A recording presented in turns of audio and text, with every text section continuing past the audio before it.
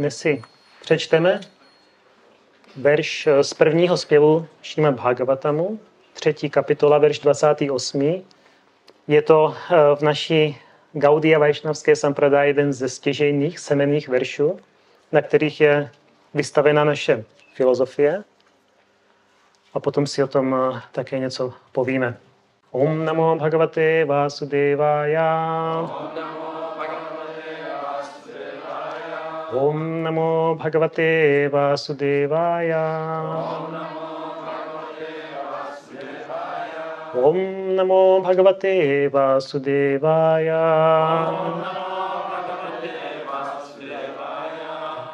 Překlad od jeho božské milosti, čili Prabhupády. Všechny uvedené inkarnace jsou buď úplné části nebo části úplných částí pána. Pán Šri Krishna je však prvotní osobnost božství. Inkarnace se zjevují na těch planetách, kde bezbožní lidé svým chováním způsobují nepokoje. Pán přichází, aby chránil zbožné. A význam? Tato šloka udává, že pán Šri Krishna se od všech inkarnací liší. Pán je zařazen mezi avatáry, inkarnace proto, že díky své bezpříčinné milosti se stoupil ze své transcendentální říše. Slovo avatára znamená ten, který se stoupil. Všechny inkarnace pána, včetně pána samotného, tedy sestupují na různé planety v různých životních druzích, aby naplnili svá zvláštní poslání. Pán někdy sestupuje ze své říše osobně a někdy sestupují jeho úplné části a části těchto úplných částí. Jindy pán přímo či nepřímo splnomocní svou oddělenou část, živou bytost, aby obdařena jeho mocí v tomto světě sehrála svou zvláštní úlohu. Prvotní pán vlastní v plné míře veškeré bohatství, moc, slávu, krásu, poznání a odříkání. Projeví-li se tyto znešené vlastnosti v určitých úplných částech nebo částech úplných částí Boha, znamená to, že daná inkarnace potřebuje k naplnění svého zvláštního poslání pouze čas o neomezené síly pána. Skutečnost, že dané místnosti svítí jenom několik malých žárovek, ještě zdaleka neznamená, že elektrárna je omezená tím, pouze tímto výkonem. Elektrárna je schopna dodat mnohem větší množství proudu, jako například do továren k pohánění velkých motorů a vysokovoltážních zařízení. Jisté inkarnace projeví jen neomezené, projevují jen část neomezené moci Boha, neboť v daném čase jí není více zapotřebí. Vezměte na ku příkladu inkarnace pána v podobě Parušurámy a Nrsinghadeva. Parašuráma vyhladil 21krát dynastie spurných kšatriů a Šri Nrsinghadeva zabil mocného ateistu Hiranyakashipua. Hiranyakashipu byl tak mocný, že polobozy na jiných planetách se třásly, když je nepatrně pohnul obočím. Polobozy, kteří jsou na vyšší úrovni hmotné existence, žijí delší dobu, jsou mnohem krásnější a v každém ohledu přečí i ty nejvyspělejší lidské bytosti. Přesto jim však Hiranyakashipu naháněl hrůzu. Lze tedy snadno představit, lze si tedy snadno představit, jakým neobyčejně mocným démonem Hiranyakashipu byl. Ale i on, velký démon Hiranyakashipu, byl roztrhán na kusy mocnými drápy Nrsinghadeva. Nikdo, ani ten nejmocnější démon, neobstojí před silou drápů pána. Také Jama Dagnya ukázal, jakou sílu může pán projevit. Do posledního pozabíjel veškeré spurné krále, kteří se ve svých královstvích těšili obrovské moci. Nárada, pánová splnomocněná inkarnace, Baráha, úplná inkarnace pána, nepřímo splnomocněná inkarnace Budhy, ti všichni vzbudili v srdcích lidí víru. Proslulost pána zosobňují inkarnace Rámy a Dhanvantariho. Balaráma, Mohiny a Vámana jsou inkarnacemi, které stělesňují jeho krásu. Datátreya, Matsya, Kumára a Kapila jsou hlavními představiteli jeho transcendentálního poznání – a odříkavost ukázal v inkarnacích Nara a Nárajana Rishiu. Všechny tyto inkarnace, přímo či nepřímo, stělesňují určitou část boží neomezenosti. Avšak pán Šri Krishna, prvotní svrchovaná osobnost, je ve všech ohledech dokonalým projevem této boží neomezenosti a to potvrzuje, že Kršna je zdrojem všech inkarnací. Nejúžasnější ukázkou jeho jedinečnosti byly jeho zábavy s gópími ve Vrindávanu které projevil pomocí své vnitřní energie. Kršnovy milostné zábavy s gopími jsou ukázkou transcendentální existence, blaženosti a poznání, i když se navenek podobají obyčejným sexuálním záležitostem. Zvláštní krása těchto jeho zábav s gopími by se nikdy neměla špatně chápat. O těchto zábavách se dozvíme teprve v desátém zpěvu Bhagavatamu, neboť ke správnému pochopení transcendentálního poměru mezi Kršnou a Gopími je nejprve nutné důkladně prostudovat všech prvních devět zpěvů. Šila Jiva Gosvámi v souladu se závěry věrohodných pramenů prohlašuje, že pán Kršna je prvotním zdrojem všech inkarnací. Pán Šri Kršna nepochází z nikoho a také není ničí inkarnací. Osobnost pána Šri Kršny tedy stělesňuje veškeré přívlastky nejvyšší pravdy. Pán dává v Bhagavad Gita jasně najevo svou absolutní svrchovanost, když říká, že nad ním není žádné vyšší pravdy a žádná pravda mu není rovna. Tato šloka Šrimad Bhagavata mu potvrzuje, že pán Šri Krishna nemá jiný zdroj, nežli sebe samotného, použitím slova svajam. Na jiných místech se inkarnace též oslovují Bhagavan pro své zvláštní působení, ale nikde se nesetkáme s tak výjimečným oslovením jako v této šloce. Slovo svajam zde označuje svrchovanou osobnost, neboli samum bonum. Kršna sumum bonum je jeden a jediný. Sám se expandoval do různých částí a částic. Jimi jsou expanze Svayam Rupa, Svayam Prakáša, tat Ekátma, Prabhava, Vaibhava, Vilasa, Avatára, Ávěša a Jiva. Tyto expanze jsou všechny obdařeny různými silami, přesně odpovídajícími jejich postavení a osobnosti. Učenci ve, všech transcendentál, ve věcech transcendentálního poznání udávají, že Šrý Kršna má 64 hlavní transcendentální vlastnosti. Kršnovy expanze a části mají pouze určité procento těchto vlastností, zatímco Kršna sám má tyto vlastnosti v plné míře. Jeho osobní expanze Svajam Prakáša, Tat Ekátma a Avatárové, kteří všichni patří do kategorie Višnu Tatva, jsou obdařeny těmito transcendentálními vlastnostmi na 93%. A pánu Šivovi, který není ani avatárem, ani Avešou a ani ničím mezi nimi, se připisují téměř 84% těchto vlastností. Džívy, individuální živé bytosti v různých existenčních podmínkách, jsou obdařeny na nejvýš 78% těchto transcendentálních vlastností. Džívy v podmíněném stavu vlastní jen nepatrné množství těchto vlastností, které je větší či menší podle zbožnosti nebo bezbožnosti toho kterého jedince. Nejdokonalejší džívou je bezesporu Brahma, nejvyšší správce vesmíru, který ze všech těchto přívlastků vlastní v plné míře 78%. Ostatní polobozy mají ty též vlastnosti v procentuálně menším množství a člověk má většinou jen jejich nepatrný zlomek. Lidskou dokonalostí je dosáhnout 78% transcendentálních vlastností. Živá byt, bytost džíva však nikdy nemůže vlastnit všechny vlastnosti Šivy, Višnua nebo dokonce Šrí Kršny. Může se zdokonalit tak, že v plné míře rozvine o něch 78% transcendentálních vlastností. Nikdy se však nemůže dostat na úroveň bohů, jako jsou Šiva, Višnu a Kršna. Na nejvýše může dosáhnout postavení Brahmy. Zbožné živé bytosti obývají většinou planety v duchovním světě. Jsou věčnými společníky Boha a přebývají s ním na duchovních planetách Haridhámu a Maheshadhámu. Říše pána Šrí Kršny je však nade všemi těmito duchovními sférami. Jmenuje se Kršnaloka, Goloka Vrindavana a živá bytost, která dosáhla dokonalosti a v plné míře rozvinula 78% všech znešených vlastností, má po opuštění svého současného hmotného těla právo vstoupit na Kršnaloku. Etečám šakalách pumsa, Kršnastu Bhagavan svajam, Indrári vyakulam lokam, mrdajanti yuge yuge. Všechny uvedené inkarnace jsou buď úplné části nebo části úplných částí pána. Pán Šrý Kršna je však prvotní osobnost božství. Inkarnace se zjevují na těch planetách, kde bezbožní lidé svým chováním způsobují nepokoje. Pán přichází,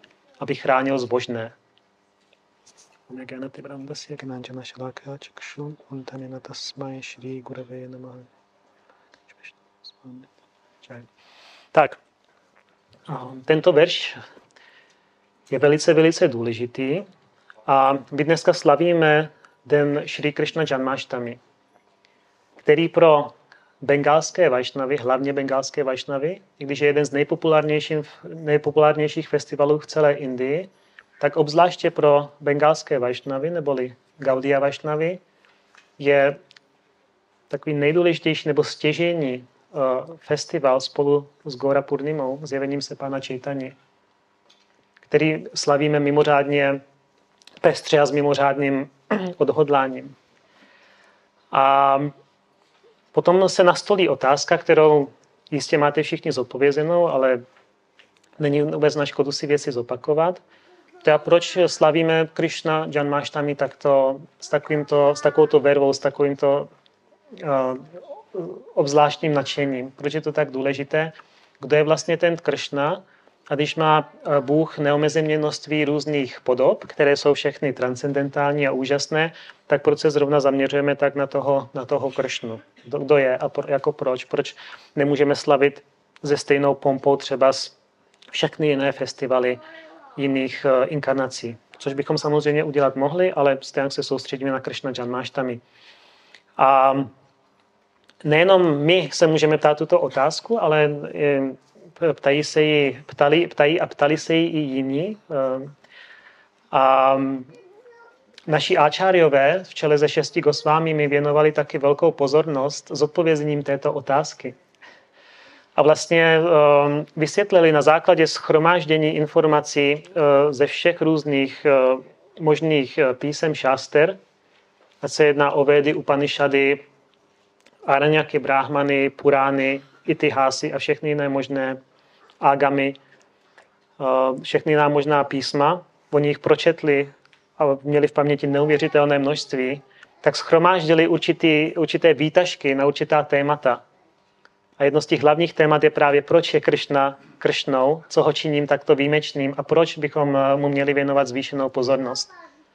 A ty eh, knížky, které šest Gosvámi v čele se Šrí Rupou a Šrí Sanatanem napsali, tak jsou takové, takové příručky, takové učebnice, kde máme jako systematicky vytažené tyto všechny informace, abychom se nemuseli zapamatovávat a číst v sanskrtu stovky a stovky různých, různých knih. A šest, šest Gosvámi e, napsalo dvě základní druhy literatury. Jedna se právě zabývá vysvětlením té filozofické pozice naší sampradaj, abychom potom mohli rozumět k tomu, kdo je Kršna, a kdo jsou jeho oddaní. A potom ta druhá porce jejich písem nebo jejich písemností se právě zabývá vyloženě těmi zábavy kršny s jeho oddanýma, už takovým nektarem, který si člověk může vychutnat pouze tehdy, když, když chápe možná nějaký taky nějaký teoretický základ. A Šila Sanatana Goswami napsal eh, jednu knihu, určitě všichni znáte, kterou, kterou, eh, které se říká Šri Brhat Bhagavatamrita. A je to vlastně taková rasa šástra, taková líla šástra, kdy uh, Nárada Muni a potom také malý pasáček uh, z Matury se jmenuje Kumára, Gopa Kumára. Tak ti cestují po celém vesmíru, po celém stvoření a mimo hmotné stvoření do duchovního světa a pokouší se právě eh, zjistit, eh, kde je jejich domov, nebo jaká podoba nejvyššího pána je ta nej, dnešnější, jak kdo je také největší oddaný nejvyššího pána. A během těchto svých cest naštěvují různé planetární systémy v rámci hmotného světa i mimo, kde se setkávají s různými osobnostmi a různými taky podobami nejvyššího pána. A šla Rupa Goswami, Sanatanův bratr, si potom říká, tak eh, to je naprosto úžasná šástra, eh, co se Natana Goswami napsal. Išla Prabhupada říká, že kdo chce porozumět opravdu pozici pána Šri Krishna, tak mimo Šrimat Bhagavatam a na Charitamritu je dobré si přečíst i Brat Bhagavatamritu. Tak Šlarupa Goswami k tomu napsal dodatek k této Brhat Bhagavatamritě, nazval ji Laghu Bhagavatamrita, taková menší Bhagavatamrita. A v této právě vysvětlil teoreticky um, ty různé uh, inkarnace a podoby nejvyššího pána, jeho odaných, s kterými se právě setkáváme uh, v Brat Bhagavatamritě. Tuto knihu, svoji Lagu Bhagavatamrita, s, kterou dneska, s které dneska budeme číst, tak rozdělil do pěti kapitol a potom ještě jedna dodatečná kapitola, šestá. Které popisuje ty různé kategorie těch inkarnací nejvyššího pána.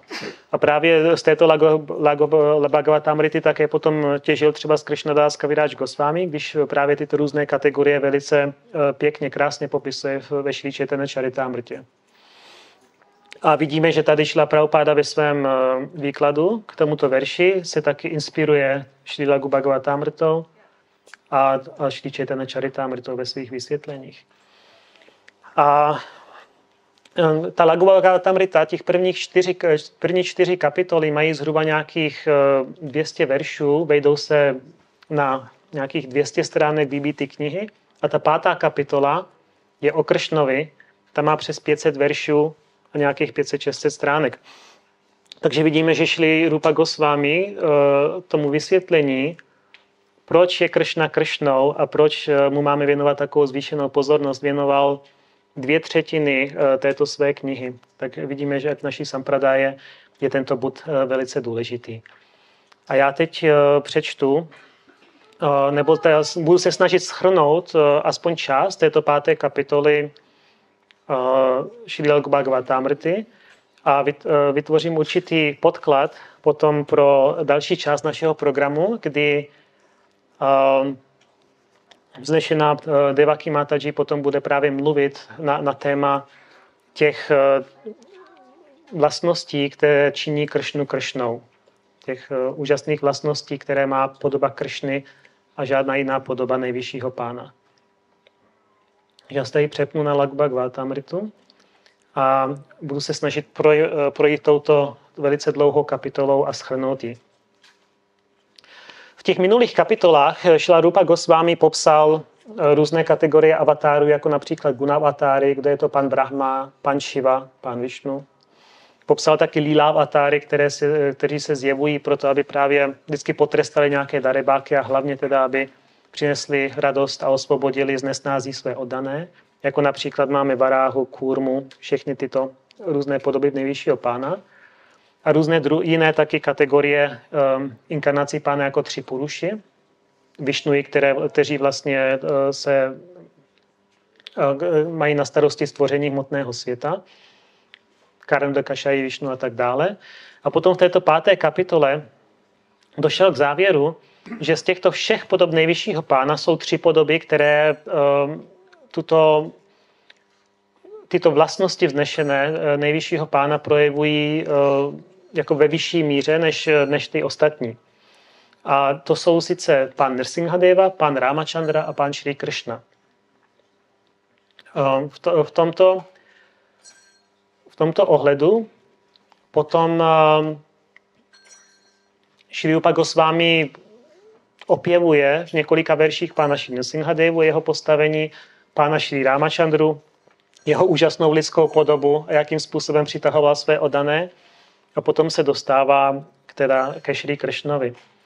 A i během jeho doby vlastně byly, máme různé i nevajšnavské sampradaji a máme i různé vajšnavské sampradaji, které mají třeba z různé pochopení filozofické, které se trošičku v nějakých určitých detailech liší. A také třeba s, uctívají, mají preference v uctívání nějakých podob. A právě v, tyto jejich argumenty, proč třeba Kršna není nejvyšších uh, jakoby osobností božství, ta to nejdokonalejší nebo nejúplnější podobou nejvyšší osobnosti božství, s těmito argumenty se zabývá Rupa Goswami a vysvětluje je pro nás. To neznamená, že se musíme s ostatními Vajšnavy hádat, to jenom znamená, že my můžeme mít taky nějaké pochopení o tom, proč v naše sampradája tak uh, úžasně se soustředí na, na Šri Krishnu. Eh, někdo by mohl namítnout, že v nějakých eh, šástrách, jako například Skanda Puráně a nějakých jiných puránách, je popsáno, že se pán Šri Krishna zjevil um, jako, jako část Nara Nary a Nárajany. My víme, že Nara a Nárajana jsou podoby pána, kteří sídlí vysoko v Himalajích, věnují se přísné askezi a meditaci. A určité purány právě říkají, že Kršna je nějakou jejich součástí. Šárupa Goswami ale si dovoluje s tímto velice pokorně nesouhlasit, kdy říká, že je to naopak a cituje potom eh, Šrimad Bhagavatam, eh, několik, několik vyjádření nějakých zpěvek Šrimad Bhagavatamu, kdy, kdy vlastně dokazuje, že právě je to naopak, že uh, svědci jako nárada i jiné autority na odanou službu právě říkají, že se to jeví tak, že se Kršna zjevuje v tomto světě, že se rodí, ale není tomu tak, že on je ta původní osobnost božství, která v sobě zahrnuje Nára a Nárajenu právě. A to, že, že Kršna jakoby pochází z Nara Nárajny, se, se vysvětluje, nebo skutečnost je taková, že když se Kršna zjeví, tak Nara a Nárajana do něho jakoby v něj splynou.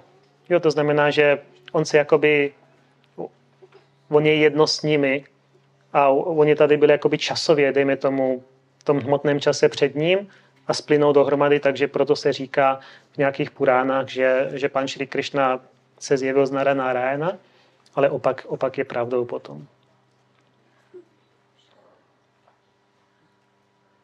Potom také jiné purány zmiňují, nebo Harivamša taky, což je dodatek Mahabharátě, že Kršna je inkarnace Upendry. Upendra víme, že je eh, bratr pána Indry, na nebeských planetách sídlí a je to inkarnace pána, která vypadá jako takový trpaslík, takový malý kluk, eh, nedorostlý. A Upendra je taky velice, jakoby, eh, tady říká Šila Prabhupáda ve svém, ve svém významu, že Upendra je jedna z inkarnací, které vlastně jako vyzdvihují krásu nejvyššího pána, že Upendra je velice jako krásný svým zevřením. A tady nějaké Purány a Mahabharata říká, že Krishna se zjevil z Upendry. Ale potom Šila Rupa Goswami vysvětluje, že i toto se dá vysvětlit tak, že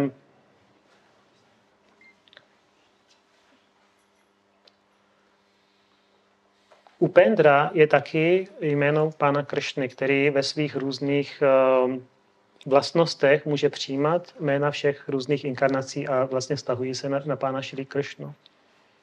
To znamená, že v těchto nějakých eh, citacích Purán Upendra znamená podobu eh, pány Kršny. A potom také, když se modlí Indra, po té, co mu se na něj snažil napršet a utopit jeho, jeho kamarády, kamarádky a krávy, tak i pán Indra potom eh, ve svých modlitbách eh, opravuje své pochopení a říká, že Kršna je dokonce i pánem jeho bratra Upendry. Takže ještě Rupa Goswami používá také citaci Šrimad Bhagavatamu k tomu, aby vysvětlil, že pán Šri Krishna, že, nebo že Upendra je také části nebo expanzí pána Šri Krishny.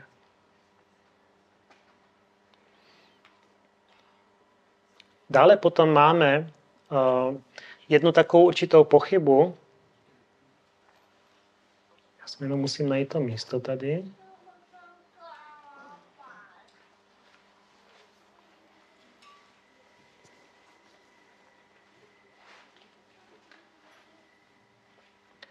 Máme takovou jednu pochybu, kdy se ptá, uh, myslím, že pokud to najdu tady.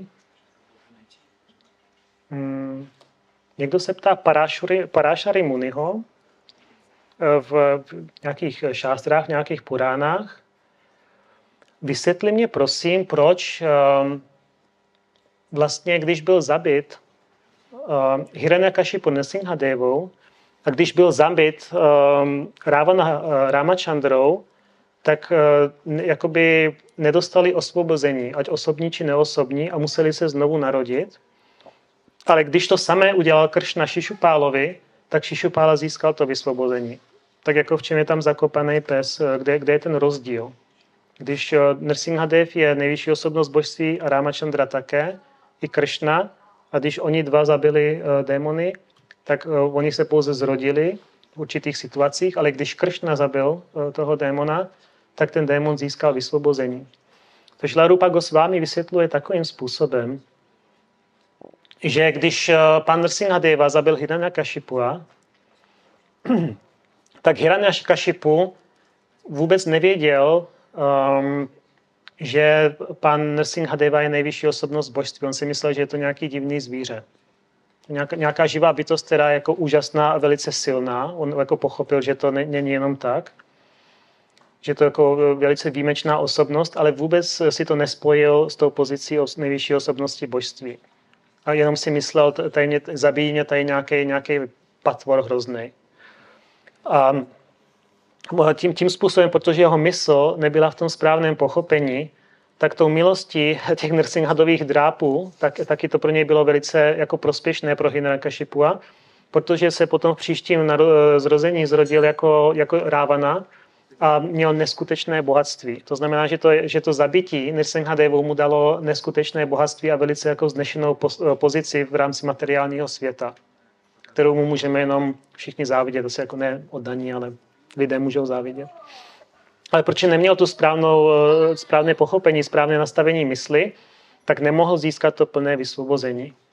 Když potom Rávana začal toužit po eh, Ramachandrově manželce, tak už eh, měl Rávana trošku jako vyšší pochopení, že pan Ramachandra by asi mohl být Višnu nebo právě jako znešená, znešená osobnost nad osobnost božství, ale ta jeho mysl taky jako nebyla správně nastavená, protože chtěl jeho manželku, chtěl jeho energii, chtěl součást, chtěl si přivlastnit vlastně součást pana Ramachandry. Protože nemůže, nemůžeme oddělit pana Ramachandru od jeho manželky. Eh, vlastně Ramachandra a manželka jsou jako člověk a jeho energie. Tak jenom tak, kdyby, kdyby někdo mě chtěl hodit, odhodit do kouta, ale vzít si moji sílu. To jako nejde to udělat, že jo? to nemůžeme toho dosáhnout. Takže právě proto se Rávana se o to snažil, a ještě měl určité pochopení, že pan Ramachandra je, by mohl být jako osobnost božství, ale moc ho to nezajímalo, zajímalo ho ta síta. Tak když byl zabit potom eh, panem Ramachandrou, tak taky nezískal to nejvyšší, nejvyšší vysvobození, ale narodil se eh, v příštím životě jako Šišupála. Taky velice, velice bohatý, velice, velice jako dharmický král, určitě jako v úzovkách dharmický, který taky měl velkou moc ale zároveň taky už měl potom příležitost, protože Rávana už jakoby tušil, kde je osobnost božství, tak Šišupála měl eh, příležitost toto vědomí, jak, eh, jako být v kontaktu s nejvyšší osobností božství, měl příležitost to dále rozvíjet. Taky říká, že Rupa Gosvámi Rávana nenáviděl Kršnu dostatečně silně. A to, bylo jako, to byla chyba. protože, jak jsem říkal, zajímal ho víc síta než pan Ramachandra. Zatímco Šišupála, tomu to bylo úplně všecko jedno, on jenom nenáviděl Kršnu. Ale jako hrozně. A hrozně intenzivně. A furt na něj myslel a furt se na něj snažil na, eh, najít chybu. A furt jako studoval ten jeho charakter a ty jeho vlastnosti, kdo je zač, co tam dělá, proč to takhle dělá, proč, ne, proč on a ne já. A po celý život takhle ten Šišupála přemýšlel a vlastně on meditoval na toho Kršnu neustále.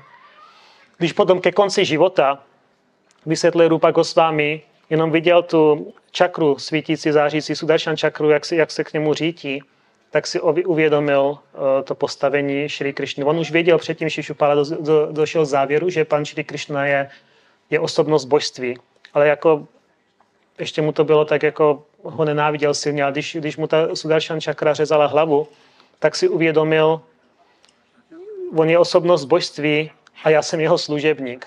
Jo, a je to v můj prospěch, je to dobře. Takže si uvědomil i pozici nejvyššího pána, uvědomil si pozici taky svoji. A proto získal eh, to nejvyšší vysvobození Šišupála. Potom šel zpátky, zpátky domů, zpátky k Bohu. Závěr Rupy Gosvámího je takový, že proč Šišupála vlastně mohl toho Kršnu tak intenzivně nenávidět, je právě proto, jaký úžasné vlastnosti ten Kršna má že tak, tak jakoby přitahoval toho Šišupálu tak jako intenzivně takovým způsobem, že ta jeho mysl Šišupálova mohla být zaměstnaná právě v meditaci neustále na toho Šri Kršnu. Zatímco u jiných podob nejvyššího pána to není až tak do takové intenzity možné, nebo většinou se tomu tak neděje. Takže z toho taky dělá závěr Širupa Gosvámi, že pan Nrsinghadeva, pan Ramachandra a pan Krishna, všichni tři projevují uh, tu moc nebo ty vlastnosti nejvyššího do velice, velice, velice jako vysoké míry, ale i v této kategorizaci pan Šri Krishna přece má nějaké zvláštní postavení. Dále potom Šlarupa Goswami se zabývá nějakými eh, argumenty různých filozofických škol, které říkají, ne, ne, Krishna nemá toto postavení, nebo eh, Krishna není takový. To znamená, že se třeba v několika verších zabývá i Advaita Vádiny nebo impersonalisty, kdy říkají, jako my chápeme, že Kršna je velice znešená osobnost a meditace na něj jako prospěšná, ale přece je úplně jasný ze všech šáster, že jakoby největší podstata je, šri, je Brahman. Je, ne, jakoby Brahman e, to jedno, jednotno jedno, nejvyšší absolutní pravda, jedno, jedno, jednota bez, nějakých, e, bez nějaké variace. A je, je to úplně všude ve všech, ve všech šástrách, je to do, jako do detailu vysvětleno. A taky, kdybychom měli dva principy, že bychom měli eh, Brahman i Kršnu jako nejvyšší principy, tak by byly dva největší principy a potom by jako by byla kolize mezi nimi, že to, že to nejde, že nejvyšší princip je potřeba jenom mít jeden. Šlelupa Goswami mi taky vysvětluje, že tomu tak není, protože eh, taky cituje mnoho, mnoho různých uh, filozofických statí z různých, z různých částer, že uh, vlastně v Bhagavad Gita uh, Krishna říká, že vlastně Brahman je určitá jeho energie a teprve potom, co si člověk uvědomí Brahman, tak může potom pochopit tu jeho eh, osobní pozici. Takže ta gradace je jakoby opačná. A ještě k tomu on, nejvyšší Brahman potom eh, je Kršna. Je to, jeho, je to jeho energie. Právě tak. Je to jeho osobní energie, takže se od Kršny nelíší, takže nemáme dvě různé podstaty, ale máme pouze jednu jedinou různou podstatu která se projevuje různým způsobem. Máme, vysvětluje, že to máme jako se svýma smyslama, že, jo? že očima můžeme, máme mlíko, dává se příklad jako mléko. Mléko je bílé, mléko je sladké, mléko má určitou vůni. A když máme pouze jako smysl zraku, tak my tu vůni a tu chuť nepoznáme. My pouze uvidíme to, to, tu bělost toho mléka. Že? Zase, když máme zavázané oči, zakryté uši a pouze třeba to mléko vypijeme, tak cítíme jeho sladkost toho mléka, ale už nevidíme jeho bělost a tak dále. Takže všichni podle toho, jaký mají vědomí, jak jim to vědomí umožňuje nahlédnout na tu podstatu, tak, ho, tak ji chápou do určité míry nebo její určité aspekty. Zatímco pouze pokud se člověk očistí úplně, to znamená, že dosáhne tomu, toho, té úrovně brahmanu, očistí se úplně od těch nánosů toho falešného ega, tak může potom pochopit tu absolutní pravdu ve své úplnosti. To znamená i ten neosobní aspekt, i ten osobní aspekt a svoji vlastní pozici. Do té doby bude vidět pouze, pouze určitý jako úhel pohledu, který bude do určité míry správný, ale nebude úplný, nebude dokonalý. Takže tímto způsobem Rupa Goswami taky odstraňuje ty pochyby uh, Advaita Vádinu a potom eh, přechází úplně ke konci um, k Šri Vaishnavům, je taky velice eh, sampradaj, kterou eh, naše tradice má ve velké úctě. A Šla Gosvámi se s nima nehádá vůbec, ale velice, jakoby, velice slušně s nima polemizuje. Nebo taky představuje naši, naši vlastní pozici. To znamená, že třeba stoupenec Šri Ramanuji nebo Šri Sampadaj by mohl namítnout. My naprosto chápeme, jakou pro vás má Kršna hodnotu, ale uh, musíme teda dojít k závěru, že vlastně Šri Kršna je pouze jednou z podob pána Šri Narayana. A teď Šri Arupa Goswami asi ve sto verších, jako hrozně dlouhá stať, vysvětluje z různých právě šást, různých purán, různých Upanishad a tak dále, ten popis Šri Vajkunty a pana Narayana na Vajkuntě. Jak je to úžasné místo, jak je tam věčný život, blažený život, všichni jsou tam šťastní, Pan Narayana tam eh, provádí jako úžasné zábavy se svýma od, oddanýma, ale je pořád v té jakoby svrchované nejvyšší pozici. To je opravdu jako krásná, krásná pasáž, která popisuje tu Vajkuntu, která je jakoby mimo hmotný svět. Za to vyražá řekou v duchovním světě. Poté ale Šla, eh, Rupa Goswami vysvětluje, že to je nádherné a neměli bychom v žádném případě snižovat eh, pozici Narayana, protože opravdu jakoby v nějakém tém úplném pochopení není rozdíl mezi těma různýma um, podobama nejvyššího pána, je to ta, ta samá osoba.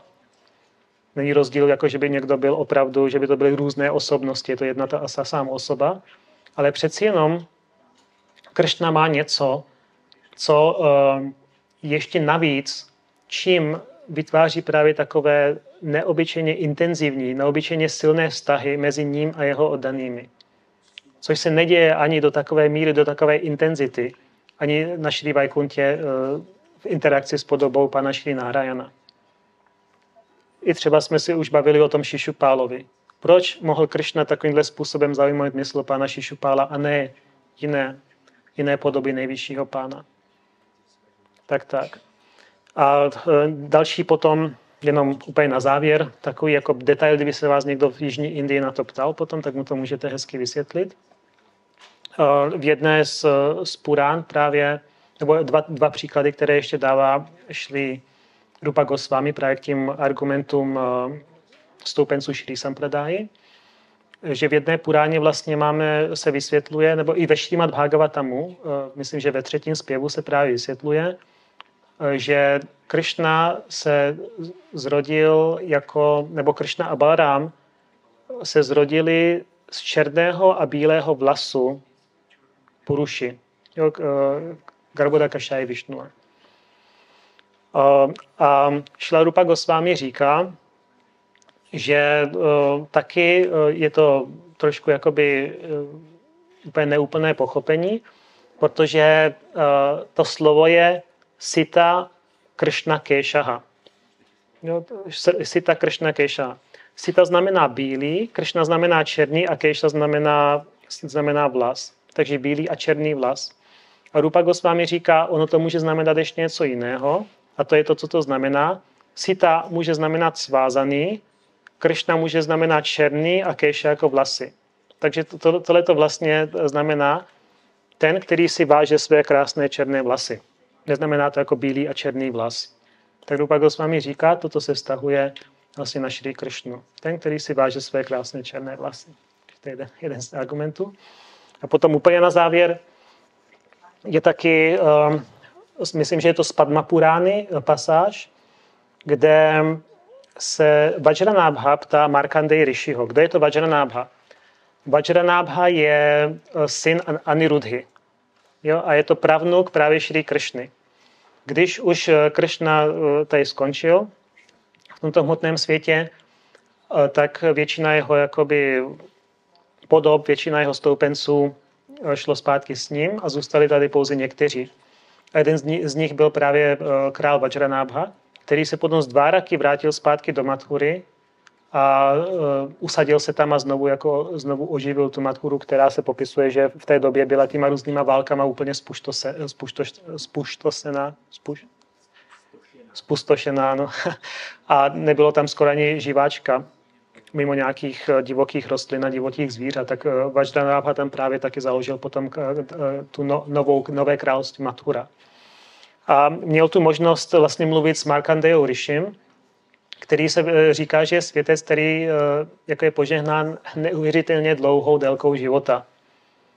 Každé nějaké stvoření a zničení eh, hmotného světa mu vypadne jeden vlas z hlavy. A když, oplešatí, když vlastně zemře tehdy, když vyplešatí. Ja, takže žije velice dlouhou dobu. A vždycky, když dochází k tomu zániku tomu, toho hmotného světa, tak Šri Markandeya tam je vlastně přítomen.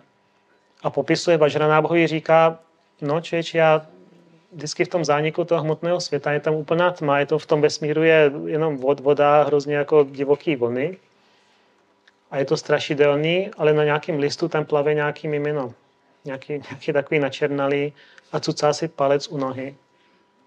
A má péro paví, jako ve vlasech. A tohleto mimino není nikdo jiný než tvůj než tvůj otec Anirudha. Anirudha. Takže vlastně Anirudha potom eh, zase tvoří nebo naplňuje ten, eh, ten hmotný vesmír, vytváří ty planetární systémy každý nový, nový den pana Brahmy.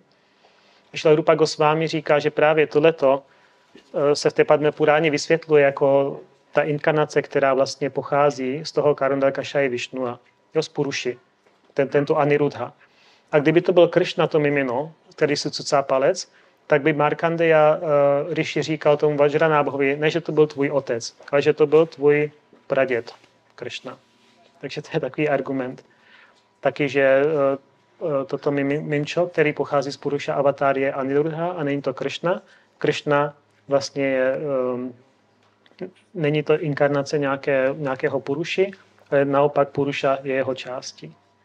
A tak dále. Takže teď jsme schrnuli během několika minut eh, zhruba nějakých 400 veršů A ten zbytek této kapitoly už se věnuje tím, tím vlastnostem pána Šri Krishny, který ho činí tak výjimečného. Do toho už nebudu zasahovat, protože vám to potom moc pěkně vysvětlí Devaki Mataji v další vlastně části, potom povídání nebo přednášky.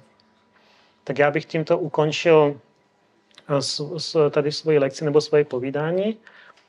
Myslím, že máme nějakých pět minut ještě zhruba, když můžeme přetáhnout, ale nepřetáhneme moc. Kdybyste se na něco chtěli zeptat nebo ještě doplnit, tak prosím. Napadlo tomu Šišupálovi, jak jsi mluvil, že ho zajímal Kršna. Že pro ně byl zajímavou osobností, že ho zkoumal. Ale potom vlastně těm nacházel chyby a prostě to v něm projevilo tu špatnou mentalitu. Protože byl pro něj Kršna nepochopitelný, jak jsi tam nějak vysvětloval, jestli jsem to dobře pochopil. Tak jestli nám třeba hrozí taky nějaká takováhle mentalita, protože pro nás je Kršna taky někdy nepochopitelný, snažíme se ho pochopit, zkoumáme ho, ale někdy mu taky nerozumíme, tak jestli nám hrozí něco podobného, co třeba Šišupálo.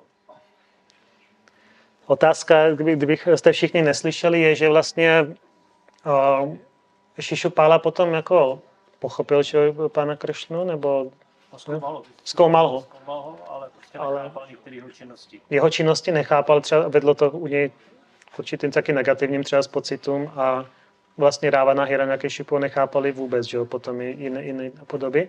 Tak jestli nám to hrozí, tak asi, asi nám jako může teoreticky hrozit cokoliv, ale myslím si, že uh, milostí potom naš, jakoby, nebo mil, uh, milostí právě Sampradaj, která nám dává určité filozofické vysvětlení, že ten teoretický rámec máme správný, nebo to pochopení máme od, od samého začátku, i když to člověk nechápe úplně prakticky, tak aspoň to chápe teoreticky, což si myslím, že do velké míry chrání potom předtím, aby začal Kršnu nenávidět. Si myslím, že většina oddaných se to netýká, samozřejmě jako teoreticky asi by se to stát mohlo, no. ale právě je potřeba, eh, často lidé říkají, že, eh, že toto bhakti yoga nebo vědomí Kršny je sentimentální, že, že to opravdu je takový jakoby vr, takový hu a není tam moc jako podstaty, tady mluvíme inkarnace sem, inkarnace tam, ale ono opravdu sice hodně zpíváme, hodně tancujeme a je to taky o hodně o citu, je to hodně o zpívání manter a meditaci, ale je tam velice silný filozofický základ, který člověk si opravdu může nastudovat. A v těch, právě proto je také aspoň ze začátku dobré uh, číst, aby člověk získal nějaký ten teoretický rámec pochopení a potom se bude bhakti yoga praktikovat mnohem jednodušeji. Ještě něco jiného, kdokoliv, cokoliv?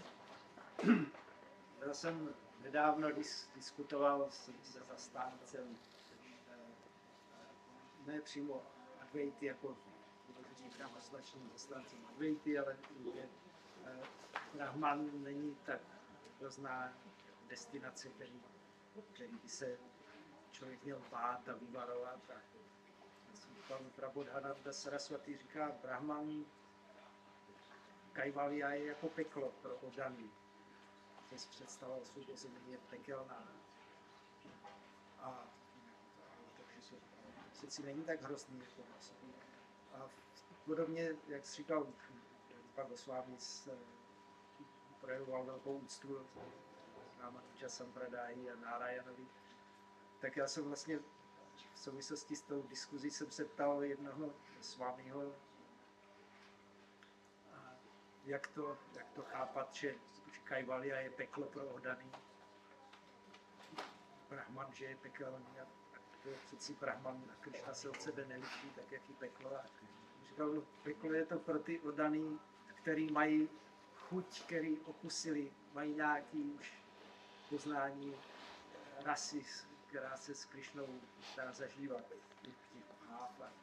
tak podobně vlastně dá se to vztáhnout i na ty ostatní inkarnace, že, že to není, že by znamenalo, Krišna je jediný nejvyšší, všichni ostatní už jsou jeho služebníci, všichni jsou menší, druhořadý a Krišna je jediný. Že to vlastně znamená, že ty, ty hávy a nálady s Krišnou jsou tak unikátní, že potom odaný vidí jak Brahman, tak i ty jiné inkarnace jako ne až tak důležité jako Krishna. Určitě, určitě, já jako nemám k tomu co dodat, ale doplním, že uh, jo, je, je to určitý náhled a perspektiva, že jak, jak se na to pohlížíme, protože když eh, například je někdo zavřený ve středověké mučírně, přikován, v, těch, eh, v té šílené v temnotě, v nějaký temný studni se, se zaví, zavírali, já nevím, jak se jmenuje ten básník, který tam strávil dlouhý čas svého života, sonety, se pamatuju ze školy, tak eh, když jste v té eh, nějaké studni, v nějaké středověké mučírně, tak když eh, vlastně chytíte švába, sníte, tak z toho dostanete určitý, jakoby, určitou radost. Že jo? Je to určitý, určitý jakoby stupeň nějaký, neříkám anandy, ale jo, nějakého štěstí. Ale když je člověk vlastně se svou rodinou a vidí, jak si děti hrajou a u toho jí nějaký dobrý oběd, že jo, nějaký odpoledne, ale noší, tak v porovnání s, to, s tím švábem v té studni je to jako pekelný, že jo. I když v té studni to pro něj mohl být jako highlight nebo jo, celého týdne nebo celého měsíce. A, tak opravdu přesně tak, jak, říká, že, že tam to porovnání. Říká, Brahman je vlastně ta úroveň Brahmanu, když člověk opravdu chápe to své postavení, postavení věčnosti, že chápe ho a je tam absence těch strastí, které nás činí jako velice nešťastné tady, tady v tomto podmíněném životě. Takže je to v porovnání s tím podmíněným životem je to jakoby velice eh, hodná pozice, jako velice dobrá pozice. Ale v porovnání s tím, jak, jako, jako radost a jaké štěstí živá bytost zakouší, když čistí, cítí ve svém srdci jako čistou lásku, živým bytostem, ale hlavně nejvyšší osobnosti božství v porovnání s tím štěstím, které dostává z čisté prémy, z čisté lásky, tak ten brahman je, tam prostě nechcete být. Bezkršný. Tak, tak. Tak. Vám hrozně moc všem děkuju za pozornost. Bhagavatam ki jai.